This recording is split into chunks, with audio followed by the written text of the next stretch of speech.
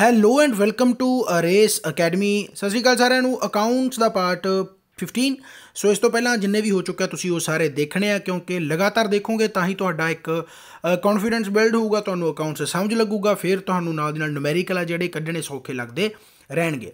ਸੋ ਇਹ ਯੂਸਫੁਲ ਰਹੂਗਾ PPSC UPSC Punjab patwari PSPCL JE PSPCL RA EPFO ਜਾਂ PPSC ਦੇ ਵਿੱਚ ਵੀ ਹੁਣ ਵੈਕੈਂਸੀ ਜਿਹੜੀਆਂ ਨਿਕਲੀਆਂ ਅਕਾਊਂਟੈਂਟ ਦੀਆਂ ਉਹਦੇ ਵਾਸਤੇ ਵੀ ਇੰਪੋਰਟੈਂਟ ਰਹੂਗਾ। ਸੋ ਉਹਨਾਂ ਦਾ ਵੀ ਮੈਂ ਅਲੱਗ ਕੋਰਸ ਬਣਾ ਦੂੰਗਾ ਬਟ ਤੁਸੀਂ ਅਕਾਊਂਟਸ ਨੂੰ ਪੜ੍ਹਨਾ ਇਸੇ ਤਰੀਕੇ ਨਾਲ ਜਿਵੇਂ ਮੈਂ ਤੁਹਾਨੂੰ ਪੜ੍ਹਾ ਰਹਾਂਗਾ। ਸੋ ਇਹ ਪਾਰਟ 15 ਹੈ ਇਹਦੇ ਵਿੱਚ ਵੀ ਆਪਾਂ ਨੂਮੈਰੀਕਲ ਕਰਾਂਗੇ।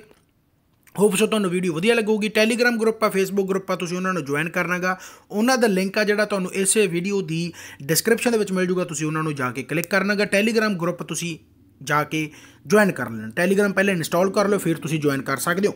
ਸੋ ਪਹਿਲਾ ਜਿਹੜਾ ਕੁਐਸਚਨ ਹੈਗਾ, ਉਹ ਕੀ ਹੈ? ਕਹਿੰਦਾ which of the following transactions will improve the current ratio current ratio ਨੂੰ ਇੰਪਰੂਵ ਕਿਹੜੀ ਟ੍ਰਾਂਜੈਕਸ਼ਨ ਕਰ ਸਕਦੀ ਹੈ? ਸਿੱਧੀ ਜੀ ਗੱਲ ਆਪਾਂ ਨੂੰ ਇਹ ਪਤਾ ਕਿ ਆਈਡਲ ਕਰੰਟ ਰੇਸ਼ੋ ਜਿਹੜੀ ਹੁੰਦੀ ਹੈ 2 ਰੇਸ਼ੋ 1 ਹੁੰਦੀ ਹੈ। ਕਰੰਟ ਰੇਸ਼ੋ ਕਿਹਦੇ ਬਰਾਬਰ ਹੁੰਦੀ ਹੈ? Current assets upon current liabilities current assets ਕੀ ਹੋਗਾ ਜਿਹੜੇ ਤੁਹਾਡੇ ਕੋਲੇ ਐਸੈਟਸ ਆ, ਜਿਹਨੂੰ ਤੁਸੀਂ ਕੈਸ਼ ਦੇ ਵਿੱਚ ਕਨਵਰਟ ਕਰ ਸਕਦੇ ਹੋ। ਕਰੰਟ ਲਾਇਬਿਲਟੀਜ਼ ਕੀ ਹੋਗੇ ਜਿਹੜੇ ਤੁਹਾਡਾ ਉਧਾਰ ਹੈ, ਤਾਂ ਉਹਨੂੰ ਤੁਸੀਂ ਕਿੰਨਾ ਯਾਨੀ ਕਿ ਜਿਹੜੀ ਕੰਪਨੀ ਉਹਨੂੰ ਯਾਨੀ ਕਿ ਅਬਿਲਿਟੀ ਰੱਖਦੀ ਹੈ, ਕਿੰਨੀ ਉਹ ਕੈਪੇਬਲ ਹੈ ਕਿ ਉਸ ਲਾਇਬਿਲਟੀ ਨੂੰ, ਉਸ ਉਧਾਰ ਨੂੰ ਉਹ ਚੁਕਾ ਸਕੇ। ਠੀਕ ਹੈ? ਸੋ ਕਰੰਟ ਰੇਸ਼ੋ ਸਿੱਧੀ ਜੀ ਗੱਲ ਆ। ਜੇਕਰ ਮੈਂ ਤੁਹਾਨੂੰ ਕਹਾਂ ਕਿ current assets current liability 2 ratio 1 ਤਾਂ ਜਿੰਨਾ ਆਹ ਘੱਟ ਹੋਊਗਾ ਉਨੀ ਹੀ ਕਰੰਟ ਰੇਸ਼ੋ ਜ਼ਿਆਦਾ ਹੋਊਗੀ। ਤਾਂ ਕਿੰਨਾ ਤੁਸੀਂ ਲਾਇਬਿਲਟੀ ਹੈ, ਜਿੰਨੀ ਤੁਸੀਂ ਜਿਹੜੀ ਪੇਮੈਂਟ ਤੁਹਾਡੀ ਖੜੀ ਹੈ, ਜਿੰਨੀ ਤੁਸੀਂ ਉਧਾਰ ਨੂੰ ਚੁਕਾਓਗੇ ਉਨਾ ਹੀ ਤੁਹਾਡੀ ਕੰਪਨੀ ਜਿਹੜੀ ਕਰੰਟ ਰੇਸ਼ੋ ਨੂੰ ਇੰਪਰੂਵ ਕਰੂਗੀ। ਇਹ ਜਦੋਂ ਮੈਂ ਕਰੰਟ ਰੇਸ਼ੋ ਪੜਾਇਆ ਸੀ, ਉਦੋਂ ਵੀ ਮੈਂ ਦੱਸਿਆ ਸੀ ਕਿ ਆਈਡਲ ਜਿਹੜੀ ਸਿਚੁਏਸ਼ਨ ਆ, ਉਹ 2 ਰੇਸ਼ੋ 1 ਹੁੰਦੀ ਹੈ ਜਿੰਨਾ ਕਰੰਟ ਲਾਇਬਿਲਟੀ ਘੱਟ ਹੋਊਗੀ ਕਰੰਟ ਐਸੈਟਸ ਨਾਲੋਂ ਉਨਾ ਹੀ ਜ਼ਿਆਦਾ ਫਾਇਦਾ ਹੋਊਗਾ ਕੰਪਨੀ ਨੂੰ ਉਨਾ ਹੀ ਜ਼ਿਆਦਾ ਉਹ ਕੰਪਨੀ ਗਰੋ ਕਰੂਗੀ। ਠੀਕ ਹੈ ਸੋ ਇਹਦਾ ਮਤਲਬ ਆਪਾਂ ਨੂੰ ਸਿੱਧਾ ਸਿੱਧਾ ਪਤਾ ਲੱਗ ਗਿਆ ਕਿ ਜਿਹੜੀ ਪੇਮੈਂਟ ਆ, ਜਿਹੜੀ ਇੱਕ ਤਰ੍ਹਾਂ ਨਾਲ ਤੁਸੀਂ ਕਹਿ ਸਕਦੇ ਹੋ ਕਿ ਲਾਇਬਿਲਟੀ ਆ, ਉਹਨੂੰ ਤੁਸੀਂ ਪੇ ਕਰ ਦੋਗੇ ਤਾਂ ਤੁਹਾਡੀ ਕਰੰਟ ਰੇਸ਼ੋ ਇੰਪਰੂਵ ਹੋ ਜਾਣੀ ਆ। ਹੁਣ ਆਪਸ਼ਨ ਕੀ ਆ? Cash collected from trade receivable ਤਾਂ ਨਹੀਂ purchase for purchase of goods for cash ਤਾਂ ਨਹੀਂ ਪੇਮੈਂਟ ਟੂ ਟ੍ਰੇਡ ਪੇਏਬਲਸ ਤਾਂ ਉਹਨਾਂ ਨੂੰ ਪੇਮੈਂਟ ਕਰ ਦੇਣੀ, ਤਾਂ ਇਹੀ ਆ, ਜਿੰਨਾ ਤੁਸੀਂ ਲਾਇਬਿਲਟੀ ਨੂੰ ਘੱਟ ਰੱਖੋਗੇ ਉਨਾ ਤੁਹਾਡਾ ਕਰੰਟ ਰੇਸ਼ੋ ਗਰੋ ਕਰੂਗਾ ਉਨੀ ਤੁਹਾਡੀ ਕਰੰਟ ਰੇਸ਼ੋ ਵਧੀਆ ਹੋਊਗੀ ਉਨੀ ਤੁਹਾਡੀ ਕਰੰਟ ਰੇਸ਼ੋ ਇੰਪਰੂਵ ਹੋ ਸਕਦੀ ਆ। ਠੀਕ ਹੈ ਸੋ ਮੇਰੇ ਹਿਸਾਬ ਨਾਲ ਤੁਹਾਨੂੰ ਪਤਾ ਲੱਗ ਗਿਆ ਹੋਊਗਾ, ਤਾਂ transaction will improve the current ratio if payment to ਜਿਹੜੀ ਟ੍ਰੇਡ ਪੇਏਬਲਸ ਹੋ ਜਾਵੇ। ਰਾਈਟ ਹੁਣ ਨੈਕਸਟ ਕੁਐਸਚਨ ਕੀ ਆ? ਕਹਿੰਦਾ ਇਹ ਕੰਪਨੀ ਦੀ ਕਰੰਟ ਰੇਸ਼ੋ ਆ, ਜਿਹੜੀ ਉਹ 2 ਰੇਸ਼ੋ 1 ਦਿੱਤੀ ਆ। ਕਹਿੰਦਾ after cash payment cash payment ਕਿਹਨੂੰ? ਟੂ ਸਮ ਇਟਸ ਕ੍ਰੈਡੀਟਰਸ ਯਾਨੀ ਕਿ ਜਿਨ੍ਹਾਂ ਨੂੰ ਉਧਾਰ, ਜਿਨ੍ਹਾਂ ਤੋਂ ਉਧਾਰ ਲਿਆ ਸੀਗਾ। ਕ੍ਰੈਡੀਟਰਸ ਨੂੰ ਉਹਨਾਂ ਨੂੰ ਕੈਸ਼ ਪੇਮੈਂਟ ਕਰਤੀ, ਯਾਨੀ ਕਿ ਪੈਸੇ ਵਾਪਸ ਦੇਤੇ। ਤਾਂ ਕਰੰਟ ਰੇਸ਼ੋ ਕੀ ਕਰੂਗੀ? ਤਾਂ ਸਿੱਧੀ ਜੀ ਗੱਲ ਕਰੰਟ ਰੇਸ਼ੋ ਕੀ ਹੋਊਗੀ? ਇੰਪਰੂਵ ਹੋਊਗੀ। ਕਰੰਟ ਰੇਸ਼ੋ ਕੀ ਹੋਊਗੀ? ਇਨਕਰੀਜ਼ ਹੋਊਗੀ। ਤਾਂ ਦੇਖੋ ਸੈਂਸ ਨਾਲ ਆ। ਜਦੋਂ ਤੁਸੀਂ ਸੈਂਸ ਨੂੰ ਡਿਵੈਲਪ ਕਰ ਲੈ, ਨਾਲ ਜਦੋਂ ਤੁਸੀਂ ਕੁਐਸਚਨ ਕਰਨ ਲੱਗ ਜਾਓਗੇ। ਇਹ ਦੇਖ ਲਓ, ਜਿਹੜੀਆਂ ਮੂਰਲੀਆਂ ਮੈਂ ਸਿਰਫ ਤਿੰਨ ਜਾਂ ਚਾਰ ਥਿਊਰੀ ਨਾਲ ਬੇਸਡ ਵੀਡੀਓ ਪਾਈਆਂ ਸੀ ਉਸ ਤੋਂ ਬਾਅਦ ਸਾਰੀਆਂ ਉਸ ਬੇਸ ਤੇ ਹੀ ਚੱਲ ਰਹੀਆਂ ਤੇ 15 ਆਪਾਂ 15 ਯਾਨੀ ਕਿ ਪਾਰਟ ਤੇ ਆ ਚੁੱਕੇ ਹਾਂ, ਠੀਕ ਹੈ ਨਾ? ਸੋ ਸਾਰਾ ਕੁਝ ਉਸ ਬੇਸ ਤੇ ਐਸੇ ਕਰਕੇ ਕਹਿਣਾ ਕਿ ਬੇਸ ਆਪਣੇ ਨੀ ਸਟਰੋਂਗ ਰੱਖੋ। ਸੋ ਮੇਰੇ ਹਿਸਾਬ ਨਾਲ ਤੁਹਾਨੂੰ ਪਤਾ ਲੱਗ ਗਿਆ ਹੋਊਗਾ। ਇਸ ਤੋਂ ਬਾਅਦ ਨੂਮੈਰੀਕਲ ਆ ਗਿਆ। ਨੂਮੈਰੀਕਲ ਕੀ ਆ? ਕਹਿੰਦਾ ਇਹ ਕੰਪਨੀ ਕਰੰਟ ਐਸੈਟਸ ਆ, ਉਹਦੇ 8 ਲੱਖ ਹੈ। ਕਰੰਟ ਲਾਇਬਿਲਟੀਜ਼ ਕੀ ਆ? 4 ਲੱਖ ਹੈ। Subsequently it purchased goods for 1 lakh on credit ਉਸ ਤੋਂ ਬਾਅਦ ਯਾਨੀ ਕਿ ਜਿਹੜੀ ਪਰਚੇਜ਼ ਕਰਦੀ ਹੈ ਗੁੱਡਸ ਨੂੰ 1 ਲੱਖ ਕ੍ਰੈਡਿਟ ਤੇ। ਠੀਕ ਹੈ? 8 ਲੱਖ ਦਾ ਐਸੈਟਸ ਹੈ ਕ੍ਰੈਡਿਟ ਤੇ ਉਹ, ਯਾਨੀ ਕਿ ਉਧਾਰ ਯਾਨੀ ਕਿ 1 ਲੱਖ ਤੇ ਲੈ ਲੈਂਦੀ ਆ। ਤਾਂ ਕਰੰਟ ਰੇਸ਼ੋ ਦੱਸੋ। ਹੁਣ ਥੋੜਾ ਜਿਹਾ ਦਿਮਾਗ ਲਾਉਣਾ ਕਿ ਕਰੰਟ ਰੇਸ਼ੋ ਆਪਾਂ ਨੂੰ ਇਹ ਤਾਂ ਪਤਾ ਕਿ current ratio current liability current assets upon current liability ਹੁੰਦੀ ਆ। ਠੀਕ ਹੈ? ਹੁਣ ਕਰੰਟ ਐਸੈਟਸ ਆ ਜਿਹੜੇ ਆਪਾਂ ਨੂੰ ਇੱਥੇ 8 ਲੱਖ ਦਿੱਤੇ ਹੋਇਆ ਪਰ ਇਹ ਕਰੰਟ ਐਸੈਟਸ ਉਹੀ ਆ ਜਿਹਨੂੰ ਆਪਾਂ ਕੈਸ਼ ਦੇ ਵਿੱਚ ਕਨਵਰਟ ਕਰ ਸਕਦੇ ਆ, ਯਾਨੀ ਕਿ ਜਿਹੜਾ ਆਪਣੀ ਇੱਕ ਤਰ੍ਹਾਂ ਨਾਲ ਕਹਿ ਸਕਦੇ ਹੋ ਕਿ ਆਪਣੇ ਐਸੈਟਸ ਆਪਣੇ, ਆਪਣੀ ਜਿਹੜੀ ਪ੍ਰਾਪਰਟੀ ਆ, ਉਹ ਆਪਣੇ ਕੋਲੇ ਪਈ ਆ। ਤਾਂ ਇਹ 8 ਲੱਖ ਹੋ ਗਏ। ਜਦੋਂ ਤੁਸੀਂ 9 ਲੱਖ ਤੇ ਉਧਾਰ ਲਿਆਗਾ, ਤਾਂ ਇੱਕ ਤਰ੍ਹਾਂ ਨਾਲ ਇਹ ਵੀ ਤਾਂ ਤੁਹਾਡੀ ਇੱਕ ਪ੍ਰਾਪਰਟੀ ਹੀ ਹੋਗੀ ਨਾ, ਯਾਨੀ ਕਿ ਐਸੈਟਸ ਦੇ ਵਿੱਚ ਹੀ ਆ ਗਈ ਨਾ। ਮੈਂ ਇੱਕ ਗੱਲ ਕਹਾਂ ਕਿ ਮੇਰੇ ਕੋਲੇ 8 ਲੱਖ ਰੁਪਇਆ ਪਿਆ ਤੇ 1000 ਰੁਪਇਆ ਮੈਂ 1 ਲੱਖ ਰੁਪਇਆ ਮੈਂ ਉਧਾਰ ਲੈ ਲਿਆ। ਤਾਂ ਮੇਰੇ ਕੋਲੇ ਹੋ ਤਾਂ 9 ਲੱਖ ਗਿਆ ਨਾ, ਠੀਕ ਹੈ ਨਾ? ਹੋ ਤਾਂ 9 ਲੱਖ ਗਿਆ ਨਾ, ਤਾਂ ਉਵੇਂ ਹੀ ਹੈ ਕਿ ਇਹ ਇੱਕ ਵਾਰੀ ਆਪਾਂ ਜਿਹੜਾ ਕਰੰਟ ਐਸੈਟਸ ਆ, ਉਹਦੇ ਵਿੱਚ ਇਹ ਐਡ ਕਰਾਂਗੇ। ਤਾਂ ਕਰੰਟ ਐਸੈਟਸ ਮੇਰਾ ਜਿਹੜਾ ਟੋਟਲ ਹੋ ਗਿਆ, ਉਹ 9 ਲੱਖ ਹੋ ਗਿਆ। ਅੱਛਾ, ਦੂਸਰੇ ਪਾਸੇ, ਜਦੋਂ ਮੈਂ ਇਹਨੂੰ ਦੂਸਰੇ ਪਾਸੇ ਕਰੂੰਗਾ, ਇਹ ਕਰੰਟ ਲਾਇਬਿਲਿਟੀਜ਼ ਲਾਇਬਿਲਟੀ ਕੀ ਹੈ ਉਧਾਰ। ਹੁਣ ਇਹ ਉਧਾਰ ਵੀ ਹੈ ਇੱਕ ਤਰ੍ਹਾਂ ਨਾਲ। ਠੀਕ ਹੈ ਨਾ? ਉਧਾਰ ਵੀ ਹੈ ਜੇ ਮੰਨ ਲਓ ਮੈਂ ਕਹਾ ਕਿ ਮੇਰੇ ਕੋਲੇ 8 ਲੱਖ ਰੁਪਈਆ ਤੇ ਮੈਂ ਉਧਾਰ ਲੈ ਲਿਆ 1 ਲੱਖ ਰੁਪਈਆ, ਠੀਕ ਹੈ 1 ਲੱਖ ਉਧਾਰ ਲੈ ਲਿਆ। ਠੀਕ ਹੈ ਤਾਂ ਮੇਰੇ ਕੋਲੇ ਟੋਟਲ ਰੁਪਈਏ ਕਿੰਨੇ ਹੋ ਗਏ? 9 ਲੱਖ। ਪਰ ਜੇ ਮੈਂ ਐਂ ਕਹਾ, ਮੇਰੇ ਉੱਤੇ ਉਧਾਰ ਹੈ ਕਿੰਨਾ? 4 ਲੱਖ ਤਾਂ ਮੇਰੇ ਕੋਲੇ ਪਹਿਲੇ ਹੀ ਉਧਾਰ ਸੀਗਾ, ਤੇ 1 ਲੱਖ ਹੋਰ ਹੈ ਤਾਂ 5 ਲੱਖ ਹੋਊਗਾ। ਠੀਕ ਹੈ ਨਾ? ਤਾਂ ਨੀਚੇ ਵੀ ਐਡ ਹੋਊਗਾ ਕਰੰਟ ਲਾਇਬਿਲਿਟੀ 'ਚ ਵੀ ਕਰੰਟ ਐਸੈਟ 'ਚ ਵੀ ਐਡ ਹੋਊਗਾ। ਧਿਆਨ ਨਾਲ ਸਮਝਣਾ ਹੈ ਕਿ ਆਪਾਂ 1 ਲੱਖ ਰੁਪਏ ਲੈ ਲਿਆ ਤਾਂ ਕਰੰਟ ਐਸੈਟਸ ਦੇ ਵਿੱਚ ਵੀ ਐਡ ਹੋ ਗਿਆ, ਯਾਨੀ ਕਿ ਉਹ 9 ਲੱਖ ਹੋ ਗਿਆ। ਠੀਕ ਹੈ? ਪਰ ਉਧਾਰ ਵੀ ਆਪਣਾ 1 ਲੱਖ ਵੱਧ ਗਿਆ ਕਿਉਂਕਿ ਆਪਾਂ ਉਧਾਰ ਲਿਆ ਤਾਂ 4 ਲੱਖ ਪਹਿਲਾਂ ਹੀ 1 ਲੱਖ ਹੋਰ ਹੋ ਗਿਆ ਤਾਂ 5 ਲੱਖ ਹੋ ਗਿਆ। ਤਾਂ ਕਿੰਨਾ ਆ ਜਾਊਗਾ ਇਹ? 1.8 ਤਾਂ 1.8 ਯਾਨੀ ਕਿ ਰੇਸ਼ੋ 1 ਆ ਜਾਊਗਾ। ਠੀਕ ਹੈ, ਸੋ ਧਿਆਨ ਨਾਲ ਸਮਝਣਾ ਹੈ ਇਸੇ ਕਰਕੇ ਕਹਿੰਦਾ ਕਿ ਕੱਲੀ ਕੱਲੀ ਟਰਮ ਨੂੰ ਥੋੜਾ ਜਿਹਾ ਥਿਊਰੀ ਬੇਸਡ ਪੜਿਆ ਕਰੋ। ਠੀਕ ਹੈ ਜੀ? ਚਲੋ ਖੈਰ, ਤਾਂ ਉਸ ਤੋਂ ਬਾਅਦ ਨੈਕਸਟ ਕੁਐਸਚਨ ਕੀ ਹੈ? ਕਹਿੰਦਾ ਇਹ company assets are 3 lakh 3 lakh ਹੈ।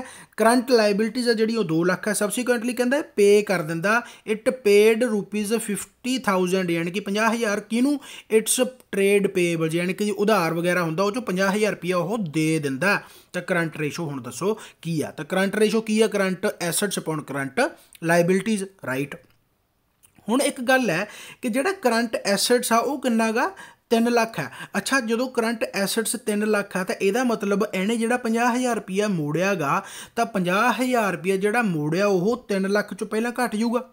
ਠੀਕ ਹੈ ਨਾ? 3 ਲੱਖ ਚੋਂ ਘਟੂਗਾ ਹੀ। ਜੇ ਮੇਰੇ ਕੋਲ 3 ਲੱਖ ਹੈ, ਮੈਂ ਉਹ ਚੋਂ 50000 ਦੇਤਾ। ਠੀਕ ਹੈ, ਤਾਂ ਮੇਰੇ ਕੋਲੇ ਕਿੰਨਾ ਰਹਿ ਜੂਗਾ ਇਹ?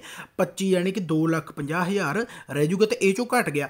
ਅੱਛਾ, ਜਿਹੜਾ ਮੇਰਾ ਉਧਾਰ ਕਿੰਨਾ ਸੀਗਾ? 2 ਲੱਖ। ਕਰੰਟ ਲਾਇਬਿਲਟੀ ਯਾਨੀ ਕਿ ਉਧਾਰ ਕਿੰਨਾ ਸੀ? 2 ਲੱਖ। ਉਹਦੇ ਵਿੱਚੋਂ ਵੀ 50 ਹਜ਼ਾਰ ਘਟੂਗਾ। ਇੱਥੇ ਘਟੂਗਾ। ਕਿਉਂਕਿ ਮੈਂ 50 ਹਜ਼ਾਰ ਦੇਤਾ ਤੇ ਮੇਰਾ ਉਧਾਰ ਵੀ ਤਾਂ 50 ਹਜ਼ਾਰ ਘਟ ਗਿਆ ਨਾ। ਤਾਂ ਇਹਦੇ ਵਿੱਚ ਕਿੰਨਾ ਆ ਜੂਗਾ? ਇਹ ਆ ਜੂਗਾ ਤੁਹਾਡਾ 15 ਠੀਕ ਹੈ 1 ਲੱਖ 50 ਹਜ਼ਾਰ ਆ ਜਾਊਗਾ, ਯਾਨੀ ਕਿ ਜ਼ੀਰੋ ਸਾਰੇ ਕੱਟੇ ਜਾਣਗੀਆਂ 5 30 5 5 ਤਾਂ ਇਹ ਕਿੰਨਾ ਆ ਜਾਊਗਾ 1.66 ਯਾਨੀ ਕਿ 1.67 ਆ ਜਾਊਗਾ 1.67 ਅਪਨ 1 ਸਮਝ ਲੱਗ ਗਈ ਭਾਈ? ਤਾਂ ਇਹਦੇ ਵਿੱਚ ਘਟੂਗਾ, ਤਾਂ ਜਮਾ ਸੈਂਸ ਬੇਸਡ ਆ ਬਸ ਥੋੜਾ ਜਿਹਾ ਧਿਆਨ ਨਾਲ ਇਹਨੂੰ ਸਮਝਣਾ ਸਮਝਣਾਗਾ ਇਸ ਤੋਂ ਬਾਅਦ ਆ ਗਿਆ current assets of a company ਕਹਿੰਦਾ 1 ਲੱਖ ਹੈ ਤੇ ਕਰੰਟ ਰੇਸ਼ੋ ਆ ਜਿਹੜੀ ਉਹ 2 ਰੇਸ਼ੋ 1 ਹੈ। After the company paid 25000 to uh trade payable trade payable ਨੂੰ 25000 ਦੇ ਦਿੰਦੇ ਆ ਤਾਂ ਉਸ ਤੋਂ ਬਾਅਦ ਕਰੰਟ ਰੇਸ਼ੋ ਦੱਸੋ ਕੀ ਹੋਊਗੀ। ਤਾਂ ਬਹੁਤ ਸਿੰਪਲ ਹੈ। ਦੇਖੋ ਕਰੰਟ ਰੇਸ਼ੋ ਆਪਾਂ ਨੂੰ ਪਹਿਲਾਂ ਦਿੱਤੀ ਹੋਈ ਹੈ, ਯਾਨੀ ਕਿ current assets upon current liability ਕਿੰਨੀ ਦਿੱਤੀ ਹੋਈ ਹੈ ਆਪਾਂ ਨੂੰ? 2 ਰੇਸ਼ੋ 1 ਜਿਹੜੀ ਕਿ 1 ਲੱਖ ਦੇ ਬਰਾਬਰ ਆ ਅਪਾਉਣ ਆਪਾਂ ਨੂੰ ਇਹ ਪਤਾ ਨਹੀਂ, ਠੀਕ ਹੈ? ਤਾਂ ਸਿੱਧੀ ਜੀ ਗੱਲ ਆ, ਜੇਕਰ ਕਰੰਟ ਐਸੈਟਸ ਆਪਾਂ ਨੂੰ ਪਤਾ ਕਿ 1 ਲੱਖ ਹੈ, ਤਾਂ ਕਰੰਟ ਲਾਇਬਿਲਟੀ ਕਿੰਨੀ ਆ ਜਾਊਗੀ? 50000 ਆ ਜਾਊਗਾ। ਠੀਕ ਹੈ ਨਾ? 2 ਬਰਾਬਰ 1 ਲੱਖ ਦੇ ਆ, ਤਾਂ 1 ਬਰਾਬਰ ਕਿਹਦਾ ਜੋ? 50000 ਦੇ ਕਰੰਟ ਲਾਇਬਿਲਟੀ ਕਿੰਨੀ ਆ ਗਈ? 50000 ਦੀ। ਹੁਣ ਸਿੰਪਲ ਕੁਐਸਚਨ ਉਵੇਂ ਹੀ ਬਣ ਗਿਆ ਕਿ ਆਪਾਂ ਕਰੰਟ ਰੇਸ਼ੋ ਹੁਣ ਦੱਸਣੀ ਆ। ਤਾਂ ਜਦੋਂ ਮੈਨੂੰ ਪਤਾ ਲੱਗ ਗਿਆ ਕਿ 1 ਲੱਖ ਜਿਹੜੀ ਕਰੰਟ ਐਸੈਟਸ ਹੈ ਤੇ 25000 ਮੈਂ ਟ੍ਰੇਡ ਪੇਬਲ ਦੇ ਦੇਤਾ, ਤਾਂ ਪਹਿਲਾਂ ਤਾਂ 1 ਲੱਖ ਚੋਂ ਇਹ ਘਟ ਜਾਣਾ 75000 ਰਹਿ ਜਾਊਗਾ ਠੀਕ ਹੈ ਨਾ? ਜਦੋਂ ਮੈਂ ਪਹਿਲਾਂ ਹੀ ਦੇਤਾ 75000 ਰਹਿ ਗਿਆ। ਅੱਛਾ, ਫਿਰ ਆਪਣੇ ਕੋਲੇ ਜਿਹੜਾ ਕਰੰਟ ਲਾਇਬਿਲਟੀ ਕਿੰਨਾ ਬਣ ਕੇ ਆਏਗਾ? ਜਿਹੜਾ ਆਪਾਂ ਕੱਢਿਆਗਾ 50000 ਤਾਂ 50000 ਜਿਹੜਾ ਕਰੰਟ ਲਾਇਬਿਲਟੀ ਆ 25000 ਦੇ ਕੇ ਉਹ ਵੀ ਕਿੰਨਾ ਰਹਿ ਗਿਆ? 50000 ਚੋਂ 25000 ਘਟਾ ਦੋ। ਤਾਂ 25000 ਜਿਵੇਂ ਪਿਛਲੇ ਕੁਐਸਚਨ ਵਾਂਗੂ ਬਣ ਗਿਆ। ਤਾਂ ਕਿੰਨਾ ਆਜੂ 25 30 3 ਰੇਸ਼ੋ 1 ਥੋੜਾ ਜਿਹਾ ਸੈਂਸ ਨਾਲ ਤੇ ਥੋੜਾ ਜਿਹਾ ਠਰਮੇ ਨਾਲ ਥੋੜਾ ਜਿਹਾ ਆਪਣੇ ਦਿਮਾਗ ਨੂੰ ਜਮਾ ਸਥਿਰ ਹੋ ਕੇ ਪੜਨਾ ਚੰਗੀ ਤਰ੍ਹਾਂ ਸਮਝ ਲੱਗ ਜਾਓ। ਨਾ ਸਮਝ ਲੱਗਦਾ ਹੋਇਆ ਕਮੈਂਟ ਬਾਕਸ ਦੇ ਵਿੱਚ ਦੱਸਣਾ, ਮੈਂ ਦੁਬਾਰਾ ਵੀ ਪੜਾਉਣ ਦੀ ਕੋਸ਼ਿਸ਼ ਕਰੂੰਗਾ ਹੋਰ ਇੱਕ ਨਵੇਂ ਤਰੀਕੇ ਦੇ ਨਾਲ। ਬਟ ਤੁਹਾਨੂੰ ਸਮਝ ਆਉਣਾ ਚਾਹੀਦਾ। ਠੀਕ ਹੈ? ਸੋ ਬਹੁਤ ਵਧੀਆ ਕੁਐਸਚਨ ਹੈ, ਬਹੁਤ ਇੰਨਾ ਡੂੰਘਾਈ ਦੇ ਵਿੱਚ ਸੀਰੀਅਸਲੀ ਕਹਿੰਦਾ ਬਟਵਾਰੀ ਦੇ ਵਿੱਚ ਨਹੀਂ ਆਉਣਾ। ਬਸ ਥੋੜਾ ਜਿਹਾ, ਧਿਆਨ ਨਾਲ ਥੋੜਾ ਜਿਹਾ ਸੈਂਸ ਨਾਲ ਜੇਕਰ ਕੁਝ ਨਵਾਂ ਵੀ ਆ ਗਿਆ, ਤਾਂ ਉਹ ਤੁਹਾਨੂੰ ਨਵਾਂ ਲੱਗੇ ਨਾ, ਕਿਉਂਕਿ ਤੁਹਾਡੀ ਥਿਊਰੀ ਪੜੀ ਹੈਵੀ ਹੈ। ਠੀਕ ਹੈ ਨਾ? ਚਲੋ ਖੈਰ।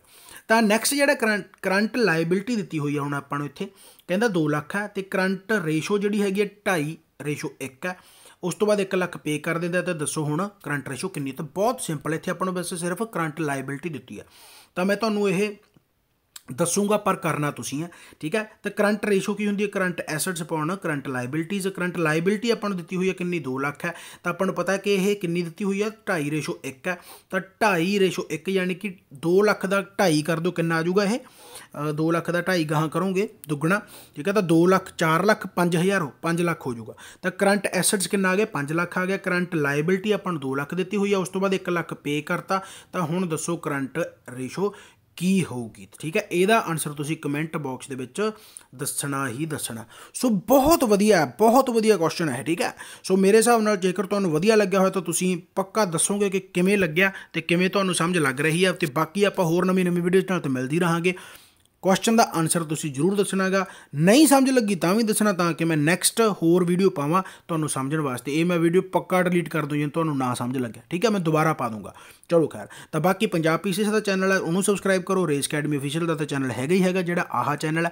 ਵੱਧ ਤੋਂ ਵੱਧ ਸ਼ੇਅਰ ਕਰਿਆ ਕਰੋ ਪਲੀਜ਼ ਹੈਲਪ ਕਰਿਆ ਕਰੋ ਇਸ ਚੀਜ਼ ਦੇ ਵਿੱਚ, ਤਾਂ ਕਿ ਹੋਰ ਜਵਾਕ ਆ ਸਕਣ ਮੋਟੀਵੇਸ਼ਨ ਮਿਲੇ ਤੇ ਹੋਰ ਵਧੀਆ ਵਧੀਆ ਕੁਐਸਚਨ ਆਪਾਂ ਕਰੀਏ। ਬਾਕੀ ਥੈਂਕਸ ਆਪਾਂ ਹੋਰ ਨਵੀਂ ਨਵੀਂ ਵੀਡੀਓ ਨਾਲ ਮਿਲਦੇ ਰਹਾਂਗੇ। ਥੈਂਕ ਯੂ ਧੰਨਵਾਦ, ਬਾਬਾ ਮਿਹਰ ਕਰੇ।